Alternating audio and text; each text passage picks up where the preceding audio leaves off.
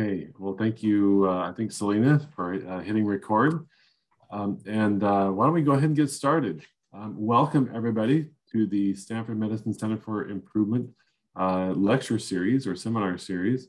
Um, it's my great privilege to uh, introduce in just a moment the fantastic speaker that we have uh, joining us from virtually from North Carolina today. Um, just as a reminder, this is a series that we have as part of the uh, Stanford Medicine Center for Improvement to bring in both internal and external uh, uh, experts, uh, thought leaders, uh, provocateurs of all types to help us uh, think deeply about improvement um, and to push, really to push the thinking. And so there will be no exception to that today. We're very delighted with our, our speaker. Um, just a, a, quick reminder before we introduce Dr. Shannon. Um, if you're able to, we do appreciate if you can turn your video on, um, we understand maybe in between uh, bites that you, you may want to turn it off temporarily, but if you can, uh, it is helpful to have your video on. Um, and we're okay watching people eat lunch. I think we're, we're all, all right with that at this point. Um, and uh, just so you know, this will be a, um, we want this to be as interactive and Dr. Shannon has asked that this be as interactive as possible. Um, so uh, he'll have some time to present his thoughts um, and then we'll have uh, plenty of time for discussion. So please write down your questions or your comments or your thoughts. Um, you can put them in the chat or you can save them till afterwards. And we'd love to have a really rich dialogue after uh, Dr. Shannon presents. Um, uh, Lisa or Lane, anything else to uh, give for by way of background or housekeeping before we dive in? I don't think so, David. Okay, great. All right, thank you, Lane, and thanks, Lisa. Um, okay, with that, then I will introduce our speaker, Dr. Rick Shannon, uh, who joins us from Duke Health in North Carolina, where he serves as the Chief Quality Officer, overseeing all the quality and safety programs across the health system. Uh, Dr. Shannon is an absolute uh, icon in quality and safety, uh, nationally and internationally, uh, as well as in uh, academic medicine in general. Um, he received his bachelor's degree in biology from Princeton University and his medical degree from the University of Connecticut School of Medicine. He completed his training in internal medicine at Beth Israel Hospital and his cardiovascular medicine training at MGH, uh, both in Boston, as you know. Um, after fellowship, he joined the faculty at MGH before uh, accepting a professor position at Drexel University. Uh, he was called upon to be the chair of the Department of Medicine at Allegheny General Hospital in Pittsburgh and then subsequently the chair of medicine at the University of Pennsylvania. Uh, and then prior to joining Duke, Dr. Shannon was executive vice president for health affairs at the University of Virginia, where he uh, led the medical center in helping to transform the organization into uh, really a premier healthcare provider in the state and uh, one uh, across the country. Uh, Dr. Shannon is a national thought leader in quality and safety, serving on a number of uh, national organizations and boards, uh, including the, uh, the Institute of Healthcare Improvement. Um, he's on the board of directors for the Kaiser Foundation. He's a director of the National Institutes of Health, and, and uh, we could go on.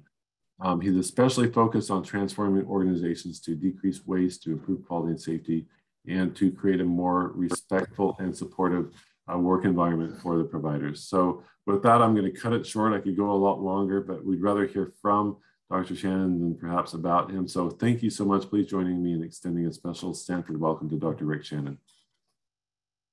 David, thank you. Um, I'm going to go ahead and get us teed up here. Can you see my screen? Oh, let me.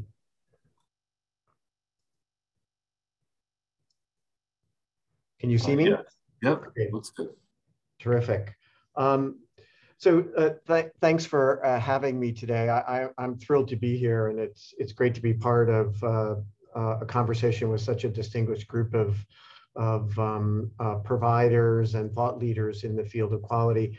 I thought I would take the opportunity to really learn from you um, and ask this kind of rhetorical question: Is it time to reimagine the clinical quality and patient safety systems in America? And uh, this has obviously been a journey for a while on the leftist Hippocrates, who 2,000 years ago uh, admonished us uh, about our professional duty to do no harm. And then perhaps a little more recently, uh, in the latter half of the 20th century, we had the Institute of Medicine's work around crossing the quality chasm. Now, 20 years later, the question is, how far have we come? Where are we going? And is there a time to really think about um, how we might uh, reimagine uh, quality and safety uh, in American medicine? Um, as David mentioned, I've had the pleasure to sit on a number of boards, two interesting ones. You know, the NIH Clinical Center is the largest hospital in America devoted exclusively to research. And understanding clinical quality in a research hospital is a really fascinating undertaking. Um, and then I, I also chair, uh, sit on the board and chair the quality committee for Kaiser Health Plan and Hospitals. Um, I think those guys are pretty well known to you. Um, an interesting example of what an integrated health system can do in the space of quality. So I'm going to begin uh, with this notion that where I started 20 years ago when I first started to get interested in quality, parenthetically, for those of you that are somewhere earlier in your career, you know, I was a card carrying cardiologist running an NIH funded laboratory um, uh, as the chair of medicine at Allegheny General Hospital, and then had the occasion to meet Paul O'Neill, who was then the CEO of Alcoa and had transformed Alcoa um, using lean management principles. And I became a student of Paul O'Neill's, and uh, that totally changed uh, my career uh, for the last 20 years. So, what do I mean by this idea of are we able to be learning organizations? Well, you guys know this well. Um, uh, academic medical centers in particular are infatuated with reportable but not always actionable data. Um, that we, I think, are increasingly awash in meaningless measures, by which I mean our ability to measure so far outpaces our ability to improve that our team members become overwhelmed with measures. Uh, in most instances, organizations have not developed a common discipline problem solving approach, so that results tend to meander, oftentimes subject to the Hawthorne effect that's fascinating, right? We belong, in our case, to these two learned organizations, two of the nation's greatest universities. And yet, most people in the care delivery system have little time to learn. And we certainly know that the keys to certain management systems, such as lean, are about the idea of continuous learning as the basis for continuous improvement. And then we've got this problem of working harder and harder uh, believing that will be successful, but largely engaging what you know has been talked about in the Harvard Business Review as the idea of active um, inertia, where systems tend to continually repeat the established behaviors that they've operated in. So all of these things, I think, have served even over the last 20 years to somewhat constrain academic medicine from taking its rightful place in leading quality and patient safety to even greater heights than have been achieved. And you know, it's this sort of interesting cartoon that Bob Golden, who's the dean at who was the dean at Wisconsin, shared with me. You know, healthcare continues to be this have and have nots, right? So you can pick your party, but we might think of the people in the bow as the insurers and we in the stern bailing away as the providers. And you could imagine different other analogies. But the reality is the ship of the US healthcare system is taking on water. And whether you're in the bow or in the stern, the problem remains ours to begin to think about, certainly with a great deal more urgency than I think we have. So let me give you an example what I mean about this sort of infatuation with measurement. So this is data from when I was the executive vice president at UVA. Um, interesting, I've been at um, Duke for almost 20 months, um, and I've yet to actually put my finger on how many measures we report, and I'm the quality chief. And I haven't quite put together all the expenses associated with it. But this I knew at UVA. We reported 484 measures every year to 11 different agencies. And you can say, yes, UVA, sort of a public university, maybe that's why we had so many. Really, only two of those agencies were, you know, agencies that that that really had to do with the Commonwealth of Virginia. We spent close to $17 million a year on operating expenses to have this quality measurement system. We dutifully reported on all of them, but we focused on improving just a few of them, right? In any given year, we might pick five or six things to focus on, and it would take us four or five years to really master them. And of course, the, the height of irony was we reported mortality to eight different reporting agencies, and yet we were characterized by four different rates of mortality. Now, if there's anything incontrovertible, it's death, right? So this notion that a different report can characterize your mortality in different ways is sort of the height of the, you know, to which now the measurement systems go, uh, largely creating confusion. And this is an example from when I was at Penn. Um, as David mentioned, I was the chairman of medicine at Penn. Um, and you know what would happen at Penn? This is a, an old UHC report that that's now Vizient. But what would happen at Penn? You can see here our expected mortality in yellow and our observed mortality in blue. And we'd get to a point where the observed to expected mortality ratio approached each other. We would panic and rather than change our practice to reduce observed mortality, we would hire more coders to sit in the basement of some 250 year old building at Penn and figure out how to get more information out of the electronic medical record. So we looked like our expected mortality should be higher. This sort of game playing that is embedded in these complex metrics is unfortunately a lot of what the quality system has become. So literally, we would hire billers and coders to fix a mortality problem rather than think about our care delivery system and how it was contributing. That leads me to my next cartoon, right? Um, he's one tough cookie. I've never seen anyone bounce back from an autopsy. The idea that after a patient died, some biller or coder could figure out a way to make them look better is the height to which some of the absurd practices have escalated. Now, now look, Penn's a pretty good place. Um, so, you know, but this is the kind of stuff that sometimes has underpinned the quality effort to date. And then finally, of course, um, I can say this in your presence because both Duke and Stanford perform very well in these public reports. But the reality is to most of the public, this is an unobtainable result.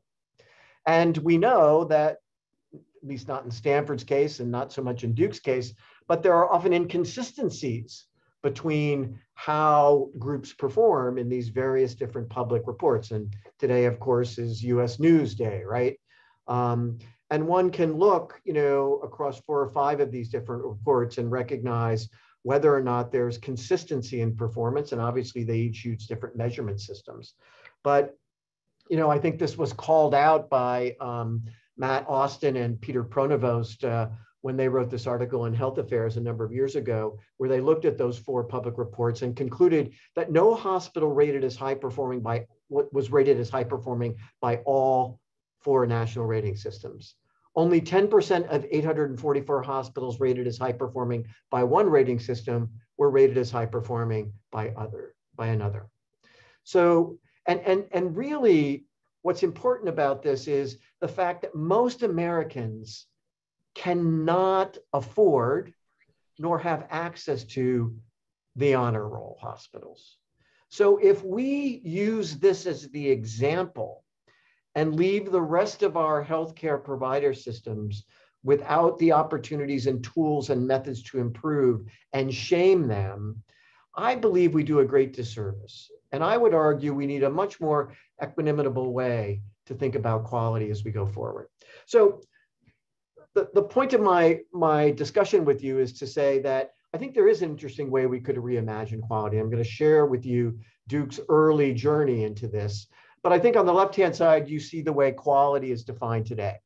It is almost exclusively based, based upon in, insurance claims data. I think all of you know as providers that there are moments where the way things get coded are not exactly the way we saw them as a clinician. Almost all the measures are defined by payers and regulators.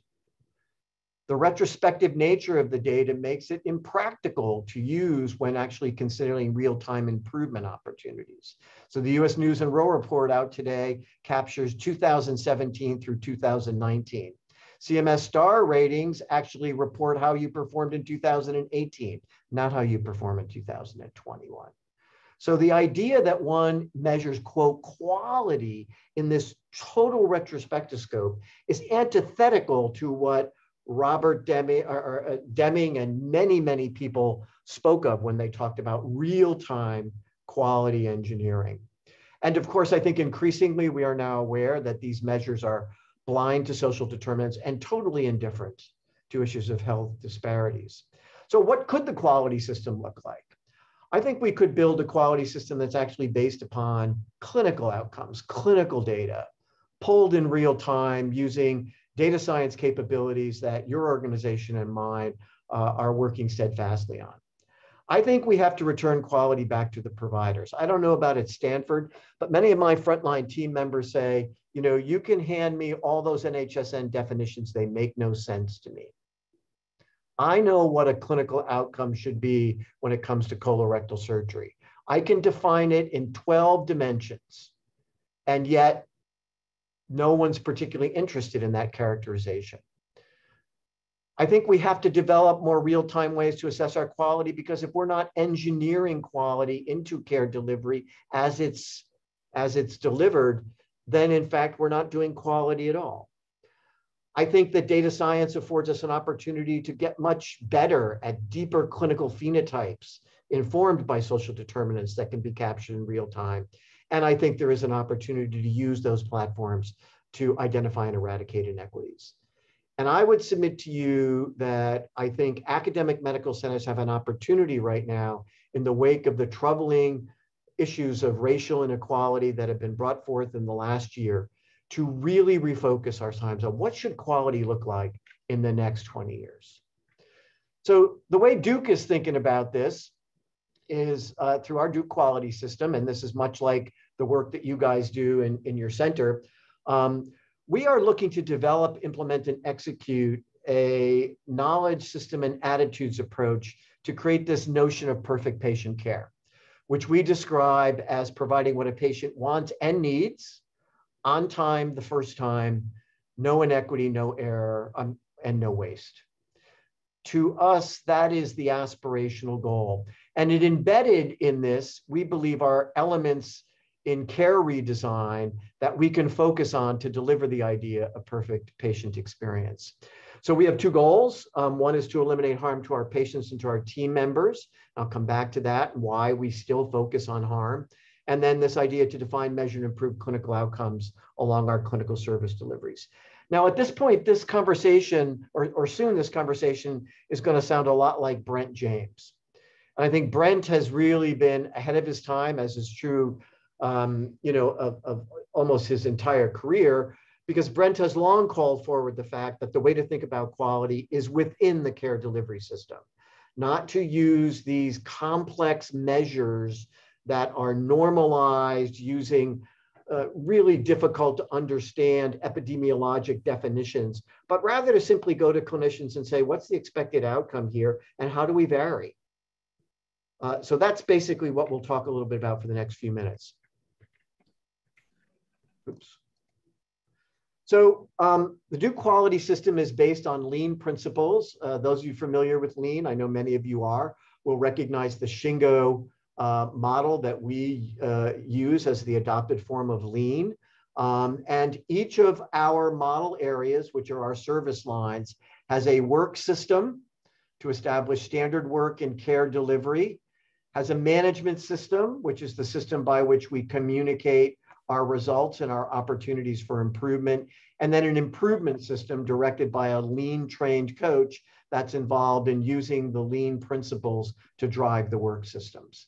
So that's the construct that we have developed here. We're using each of our service lines as what we call model areas and spending really this first couple of years in what we call people development. So we need to provide people with the capabilities to be able to see and solve problems. So lots of education, lots of rapid improvement events, lots of exercises underway to try and build capabilities in our team members so that we can eventually engage in continuous improvement. So why are we focused on this idea of clinical outcomes? Well, I think it's based in this slide, which tells this daunting tale that has been true for the last 20 years. And as best I can tell, is going to be true for at least another decade. And that is in the US healthcare system, 20% of the population accounts for 80% of the spend. And that 20% of the population is in our organizations. People that come to academic medical centers with complex chronic conditions and consume vast resources in attempts, often vainly, to restore health. And the reality is that has been true for the last 20 years, and as best I can tell, will persist for the next five years, at least the next five years, and probably the next decade. So if we can't figure out a way to repurpose and improve the complex chronic care model that currently consumes these resources, there is no amount of focus on value that can correct the US healthcare system. And of course, this is Andy Hackbarth and Don Berwick's account of the notion that at least, uh, you know, uh, $1.1 trillion of what we currently spend in the US healthcare system is embedded in waste. And they've broken this down nicely. And if you look at the right hand side of the slide, you can see that nearly a half a billion dollars of the waste in the healthcare system, as broken down by, uh, by Don Berwick, is consumed in clinical waste, defined by misdiagnosis, delay in diagnosis, complications, and redos. So nearly half of what Hackbarth and Berwick define as the opportunity to repurpose waste is consumed in our clinical care delivery systems. And that's why we have chosen to focus on clinical outcomes and care delivery as the emphasis for our lean management system.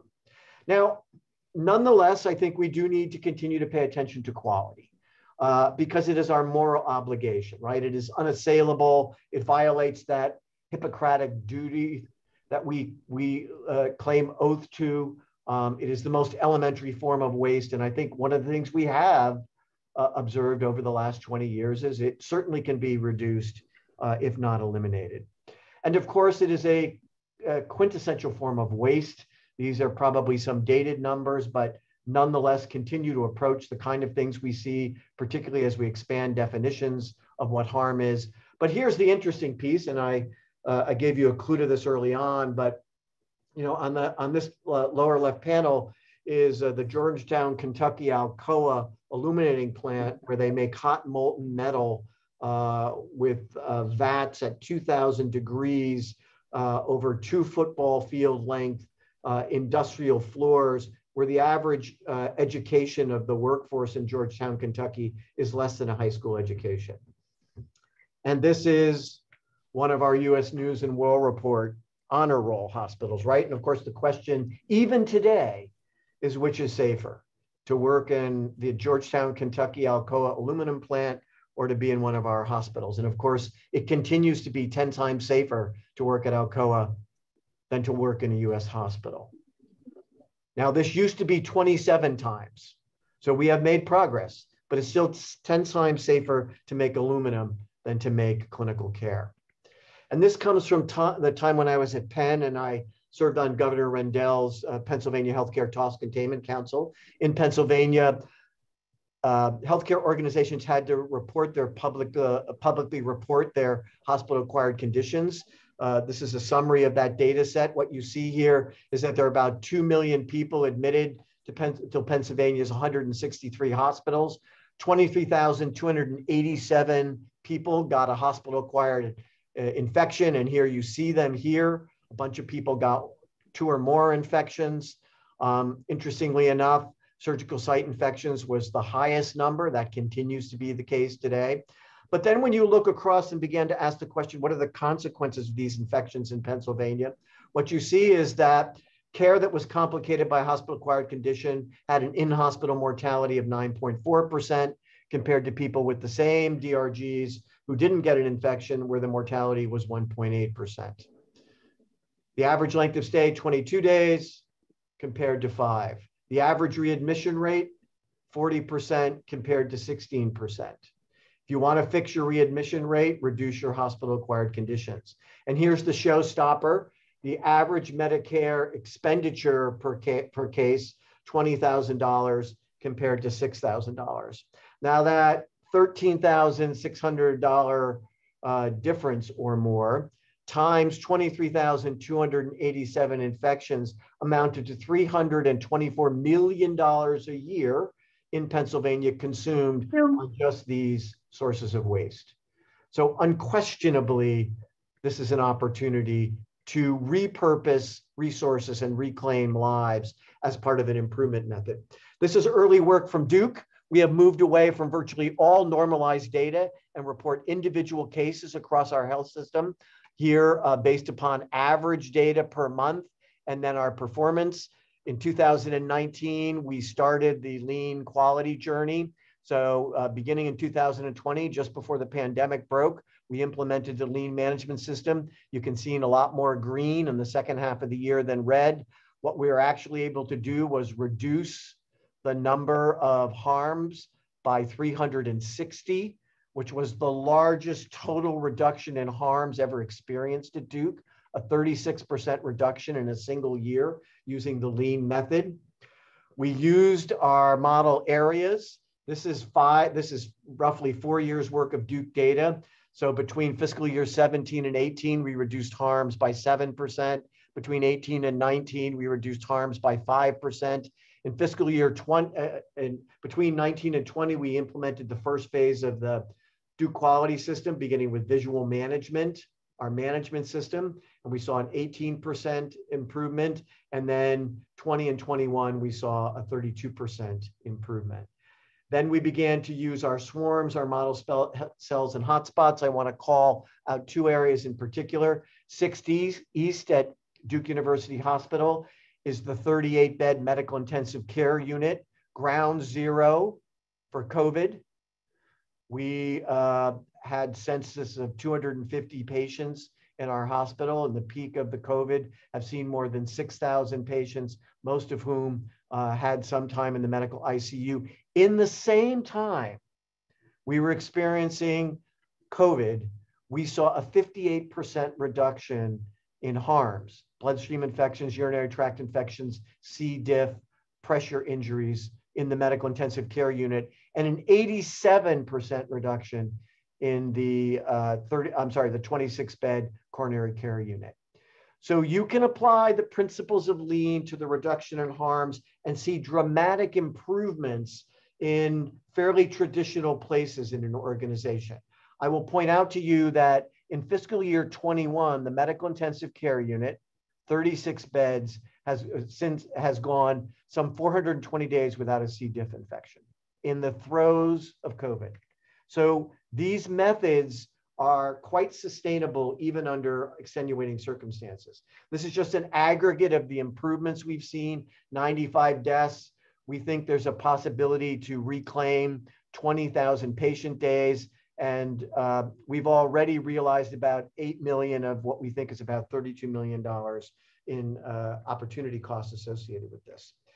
Now, where we're moving in clinical outcomes is using existing professional data registries. So much like Stanford, Duke participates in all of the big professional data registries. In fact, at Duke, we have 77 data registries, clinical data registries, where information is abstracted from the electronic medical record, adjudicated and risk adjusted by a professional society, in the case of NSQIP, the American College of Surgeons, and then fed back and, and benchmarked against peers. So we have begun to use the NSQIP data at Duke as the basis for our improvement. So it is clinical data, which resonates with the surgeons rather than administrative data. The standardized definitions are well received and professionally adjudicated. We have data that's out to 30 days post-operatively. We include 13 different uh, I'm sorry, complications. It's all risk adjusted. And this data is now used to drive improvement. More importantly, the data is used to assess risk. So we use the NSQIP risk scores to both establish what should be the standard for length of stay and to understand the individual patient's risk relative to the average risk at Duke for a given, uh, for a given procedure. That information is acted upon by the surgeon, a decision is made to perform the procedure, and then the results are evaluated. So this is Duke University Hospital uh, up until June of 2020. Uh, we'll have the, the, the, we just got the recent report. I didn't update it, but this is for overall surgical cases at Big Duke. And you can see this is morbidity and mortality, the complication rates of all different types. You can see what the observed to expected ratio is. That's a professionally adjudicated. You're likely all familiar with this. Then you see what adjusted percentile Duke performs in compared to 800 other uh, participating centers and what the adjusted quartile is. Then you know, based upon Duke data, the average cost per complication.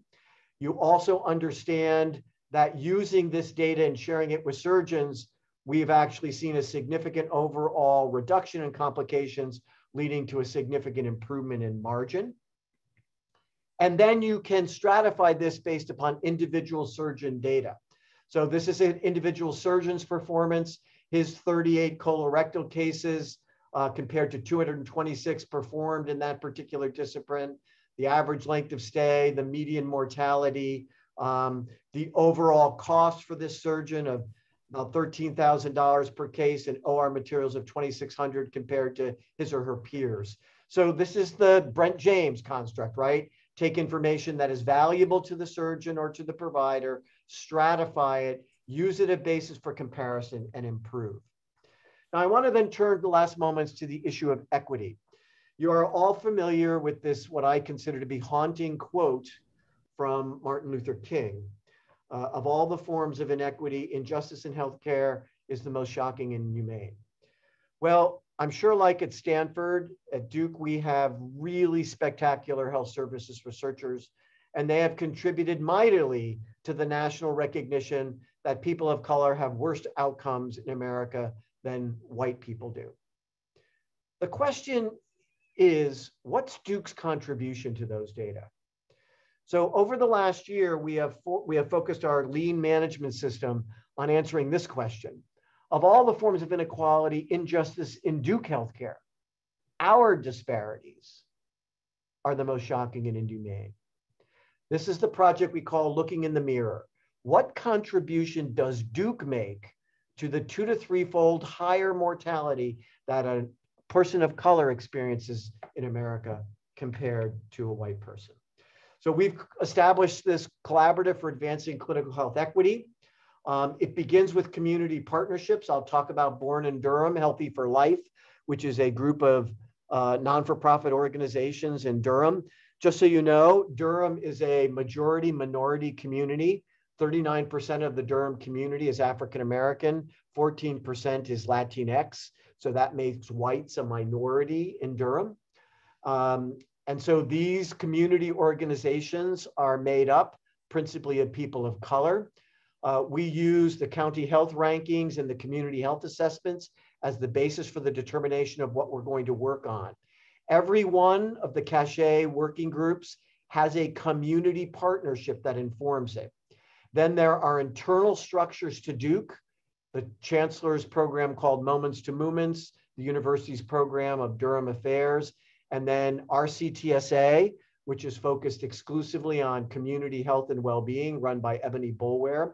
We then reach out to clinical service lines and ask them to participate. And here are four of the service lines that were the inaugural ones. So each one of these service lines has a community sponsor and a university sponsor that sits with them and develops the measure that or measures that are going to be used to look at our clinical outcomes. So in this case, we're looking at maternal morbidity, infant mortality, hypertension, colorectal screening, atrial fibrillation, and pain management. We use our data science capabilities to measure each of these outcomes over a five-year period and stratify them by age, race, gender, comorbidities, insurance status, a neighborhood deprivation index, and a patient-reported outcome. Each of these working groups is provided project management, data sourcing, data analytic capability, and measurement development capability. These are resources that the health system provides, and they then morph into further um, advanced clinical decision supports and predictive modeling capabilities so that we're identifying clinical outcomes disparities and then examining metadata to look for factors that drive those disparities using statistical modeling and statistical analysis to try and understand factors that are most influential in accounting for this. Then we go back to the care delivery system.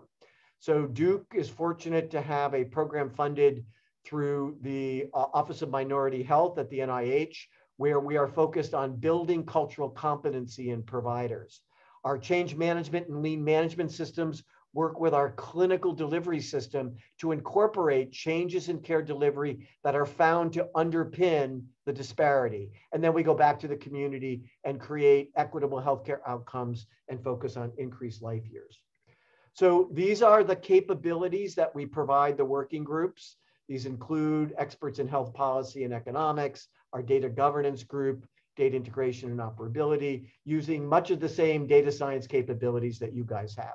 Here is one of the Tableau dashboards. This is looking at maternal morbidity and mortality over five years. You can see women who delivered at Duke who had no complications, and then the five-year aggregate number of complications in each of these different categories. You can see the highest number actually is acute renal failure and DIC and eclampsia and sepsis. Uh, interestingly, not conventional cardiovascular complications. If you break this data down, these are the 30,000 women that gave birth. You can see the average age overall and by different ethnic groups, really no difference. You see the gestational age of the babies born. Take a look at BMI, fascinating, right? White women 33, African American women, average BMI 44, Latinx 34, Asian 28. This is their multiplicity. You can see here their insurance status, which we collect.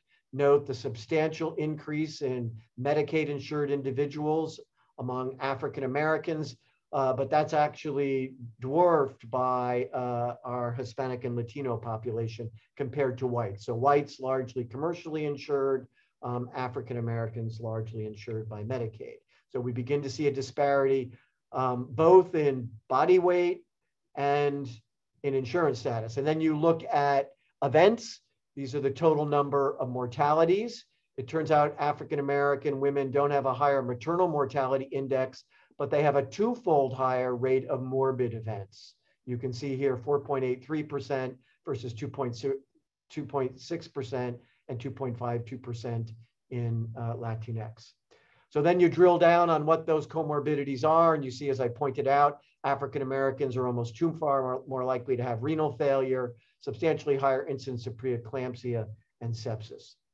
Then you look at their co then you look at their social determinants, and you can see that African Americans also uh, tend to have a much higher portion of food insecurity, housing insecurity, transportation problems, and financial insecurity. Then you sit down with the community groups and you get questions like this. What would maternal care at Duke look like if it was designed by a Black woman? So what that then turns our attention to is the facts that at Duke, uninsured women in our community are actually cared for by the public health um, office in Durham through the first through uh, two th trimesters of pregnancy. In the third trimester, the woman's care is transferred to Duke. So we don't know these women for the first two trimesters, and then they arrive in the third trimester.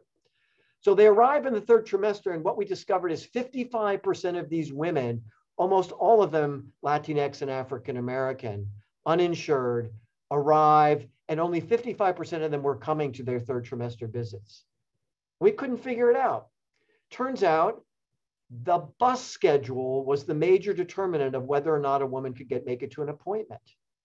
And when we adjusted our clinic schedule to accommodate the bus schedule, now 85% of women make it to their third trimester appointment. We recognized that hypertension was the, uh, the leading indicator for those comorbid conditions, particularly acute renal failure. So now we have embarked, like many of you already do, on remote patient monitoring around high risk African American women uh, during the course of their pregnancy. We have created care coordination for all women who have a comorbid condition to make sure that those morbidities are, are managed during pregnancy. We have used our Duke Reach program to create a um, Duke-wide program and culturally competent midwives. We have created a volunteer doulas program to make sure these moms have adequate postnatal care. And then we're embarking on this process of to be understood. Most women of color in Durham actually believe they'll get a good, they'll get good care at Duke. They just don't think we, we care about them. They're not worried about our competence. They're worried about whether we actually care about them, whether we understand them, whether we're committed to recognizing how life is for them. So I'm going to stop. Patients and providers need to take quality back from payers and regulators. Period, full stop. Providers take care of sick patients, but we as leaders have a responsibility for fixing our sick systems. And the third thing I think we need to keep in mind as we move forward is that I don't think you can have a remarkable patient experience unless we create the circumstances where our caregivers have a remarkable experience. Okay, I'm going to shut this down and now let you guys go at it, right? But those are at least some ideas, I think, about what a future and quality could look like. Well, thank you so much, Rick. That was fantastic. Um, and uh, it certainly got me thinking, and I'm sure got our group thinking. Um, I'm, I, love to hear uh, questions. And so does anyone have a, want to come forward with a question? I've got a whole list of questions this long, so there won't be any lack of discussion. Um, but if anyone wants to jump in, um, while people are raising their hand or starting to formulate in the chat, uh, we did have one comment I think that was more kind of internal. Um, actually, no. Let's let's go to Karthik. You know, Karthik, do you want to give uh, quickly summarize your your question that you had? Sure. Thank you, David. Yeah. So I'm the um, pediatric NSQIP surgeon champion here at our children's hospital, and um, I was really impressed with how you guys are using the NSQIP data to drive improvement. That's obviously how NSQIP is designed, but we've had a lot of trouble getting buy-in from people beyond kind of people in the surgical specialties because the outcomes that are measured are not super relevant to them. So I was just curious to know um, how you guys have approached that. Yeah, um, thank you for the question. So um, first of all, uh, we have, I think now, leave cardio and thoracic aside and vascular side, we have eight surgical specialties participating in NSQIP, um, including our pediatric surgeons. Um, but they were the last to come in. Uh, and it took a, um, you know, we, we had to, I think, show that we could use the data to really drive improvement in some of these other specialty areas, particularly general surgery, before people began to believe that it could be applicable. Um, but we have now seen in the last year or two some significant improvements. We, and I'll be honest with you, we had less than optimal performance in some of our pediatric surgical outcomes. Uh, so, you know, there's a little bit of reluctance that we they were being called out, but now they've virtually picked up in all the domains. But I think that your question points to this issue I didn't really touch on that's an important one. And that is there are many surgical disciplines for which a clinical outcome like mortality may not be the right thing. Think of ENT, right? I mean, other than head and neck cancer, most otolaryngologists aren't dealing with life and death. So we're trying to build uh, we're in the process of trying to build with some of our social scientists patient reported outcomes in those domains. Now, the otolaryngology societies actually have professionally adjudicated patient reported outcomes for things like hearing loss and vocal cord stuff. And so we're trying to see in those areas where morbidity, mortality, and surgical site infections may not make sense, can we begin to build a repository of patient reported outcomes? In other words, was my voice restored? Was my hearing improved? Did the vertigo get better, right? Just some, some more formal assessments of the patient's experience. But that's work underway, and we don't have really good data on that yet. Um, if I could maybe follow up on that, thanks, thanks, Karthik. Um, Rick, I, I, it really strikes me. I really loved to see uh, your mini slides where it was just you know one set of data after another. Um, and it seems to me that your conversations and your improvement efforts are really structured around data. Um, and that it, you know, as, as I think we recognize the power of having those conversations when it's around data is a totally different conversation than in the absence of data. So I'd love to hear you say more about that. And then how do you get to the point? What, what do you, what's your magic sauce to get to the point where you have the data and you're, you're able to deliver on that goal? Yeah. So uh, David, I think I would just add a little um, suffix to what you said. Data that matters to providers and patients. So here's the problem. And this, I encountered this, you know, at UVA. Let's take surgical site infections. Just take an example.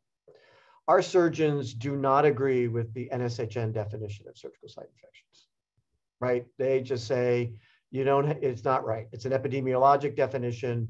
Um, we have a professionally adjudicated definition. I'll give you an example. If, uh, and I don't know if this happens in Palo Alto, but it happens in Durham, regrettably. If you come in with a gunshot wound to the abdomen, right? A gunshot wound. So you've got, you know, uh, bowel throughout the abdomen, and um, you have that repaired. And on day nine, the wound is, you know, looks like it's infected after having had your stomach blown open. NHSN calls that a surgical site infection. Our surgeons say, Are you kidding me? So the idea of turning back to the provider, okay, so tell me what matters to you. What are the things that are important for you to tell me that you're high performing? And so it is, the Duke system is based on measurement, but we've got an agreement from these groups that these are measures that matter to them. And um, we just went through this with our spine surgeons. And that was a long conversation, right? But we we begin by saying to them, you give us the data that you think confers clinical excellence on your outcomes, and we'll build it. And so it was acknowledging that some of these publicly stated data uh, definitions don't resonate with clinicians. And unless we were willing to stop and understand their side of it, and let me just say, I'm not a surgeon, right? But I'll tell you, the American College of Surgeons is a pretty tough group of people. They're not letting many individuals off the hook. So they're, they're pretty rigorous. I'm not thinking, there's not a lot of layups. So, you know, I, I think what we did was we said to them, well, tell us what does matter to you. You know, what, what matters to you? When we started showing people in our, our focus groups, things like um, catheter related urinary tract infections, I said, what are you talking about? you know, I don't know what that is. You say that to, to our born and born in Durham Healthy for Life women's group, you know, show us your CLABSI data. They say, what do you, what, why would we be interested in that? Plus the prevalence of those conditions is so low, so low, you know, on the order of 0.5%, that when we show that data publicly to our focus groups, they laugh at us. They say, why are you showing us that? I want to know what happens if I have a heart attack. I want to know what my five year survival from lung cancer is. That's what I want to know. And I want to know will you care about me? That's what the public is telling us. So we just use that construct to say, okay, let's build the data around that. What's the five year survival from lung cancer at Duke? That's a pretty reasonable question. Well, so thank you, Rick. One question, I guess, to follow up with that is about clinical registry data and looking at individual physician outcomes and, in terms of the risk adjustment. Um, can you talk a little bit about uh, individual physician risk adjustment? Yeah, so um, this is done in a, a all by um, uh, NSQIP, right, through their algorithms. But basically, uh, an individual physician's risk adjustment is based upon 62 variables that go into the risk equation. Um, and you saw an example in the risk adjustment score about what some of those are, not all of them. And then, um, you know, if, so if you're operating on older, sicker Medicaid patients, those things are adjusted for in the model so that the expected outcome reflects that. So what the surgeons like about this is that it allows them to continue to push the envelope because if you're taking on more difficult cases, it's accounted for.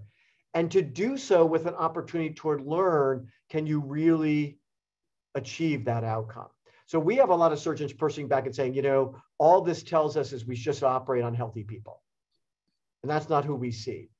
So we had to accommodate that by really focusing in on the, the expected mortality piece of this using a 62 variable adjustment model so that we didn't discourage people from operating on sicker cases. But if you had a 50% mortality operating on sicker cases, you probably had need to rethink your case selection, right? There was so, so there was a window in which we said enough is enough. You know, there is futility, but it created enough room that people felt like they could trust the risk adjustment. Great, thank you. Um, uh, other questions? I've got, I've, like I say, I've got lots of questions. We've got a few more minutes for this discussion.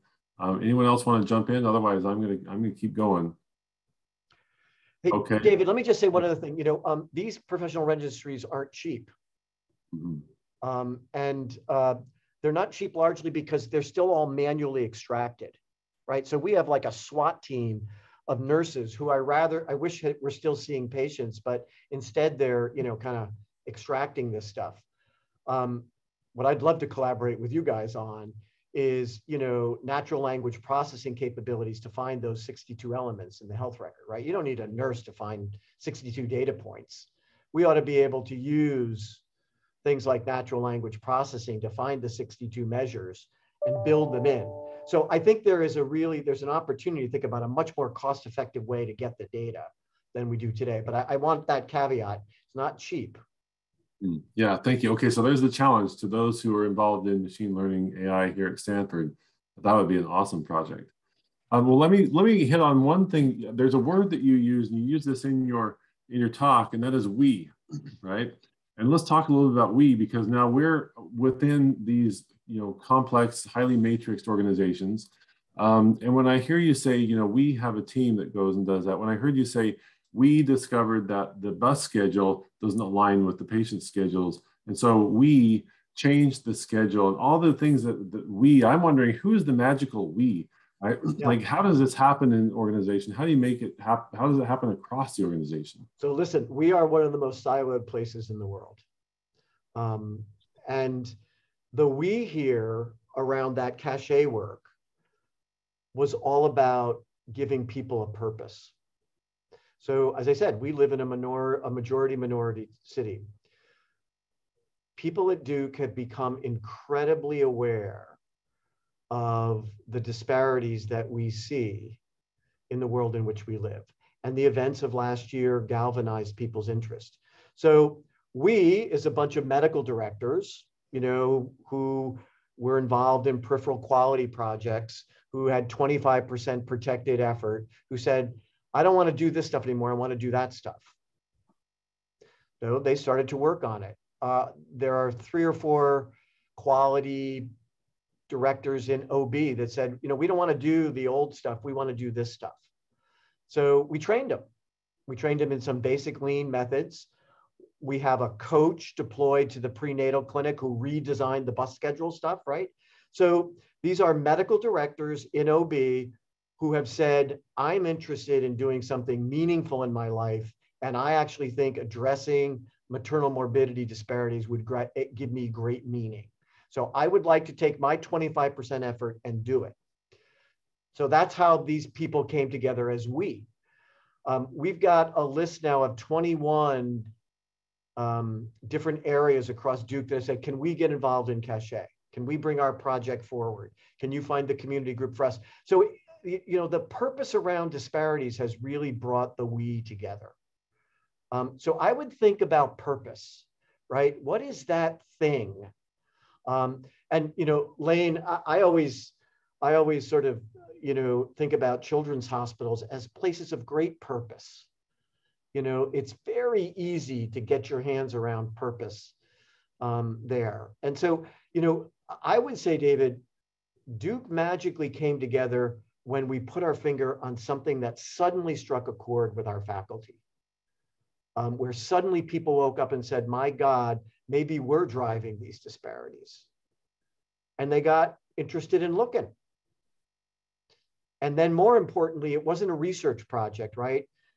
Define, measure, and improve. The idea was that nothing stops until we figure out how to fix the care delivery system. Now we've got some problems in that, you know, um, housing in Durham is not something easily fixed, right? That's going to take a while to get our hands around that, but at least we understand what role it plays. Excellent, thank you. I think we've got time for one or two more questions. Um, in the chat, uh, Grizel had a question about caring. Grizel, you want to come off mute and ask your question? Sure. Hi. Um, great presentation, and I'm curious to know um, when the, when the population or your your customers were saying that they wanted they they wanted you to care for them. What are your human-centered caring strategies that you're utilizing to care both for them and for your staff? Yeah, it's an excellent question. You know, I was stunned. Um, every place I turned, all I heard was, you know, Duke's a good place. We'll get good care, but we would like you to care about us. Um, and it's this, you know, historical notion here in the South that, you know, we haven't always been very good uh, at being fair and equitable. Um, you know, I came from the University of Virginia, which has a, an extraordinarily challenging past uh, with respect to race and ethnicity. So we've really focused as part of the improvement piece of this in our clinics building cultural competency through the Duke Reach program. So this is training exercises that staff and faculty go through in those domains about how to be culturally competent, how to recognize what it's like to walk in the shoes of someone who has to take three buses to get to an appointment. To begin to understand that if that person's late, it's probably worth some exception, right? Our frontline staff would just get angry at people and say, oh, you know, you're late. We got to reschedule you. But wait a minute. Did you realize I just took three buses to get here? So building into the improvement piece of the work is cultural competency. Understanding what it means to be a Latinx woman or an undocumented person at Duke. You know, when we ask people about their race and ethnicity, their question back to us is, are you going to use that against me? You know, so we, we had a lot, we had a lot of work to still do, but we built it into the fabric of the improvement exercise. So as we try to address the disparity, we build the cultural competency. It's early. I don't want to tell you we've got this figured out.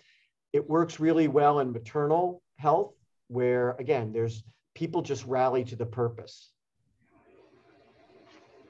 Thank well, uh, uh, thank you. Yeah, thank you, Grizel, for that excellent question. On that, uh, uh, wonderful note, that positive note. Uh, I just want to say thank you so much to Rick and thank you all for joining us today on this uh, outstanding thought-provoking discussion. I hope that this is a uh, start of a long collaboration yeah. Uh, across the country. And um, I would love to think about some of these technical issues, some of the redesign questions, some of these really interesting uh, human-centered design questions, lots of wonderful opportunity, I think, to collaborate.